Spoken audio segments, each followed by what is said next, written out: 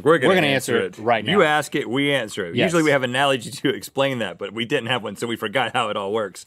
No, okay. So we actually have a foolproof method for you to make this never happen again. If someone tells you this, if your significant other says you don't have to get me anything for Valentine's Day or any other time,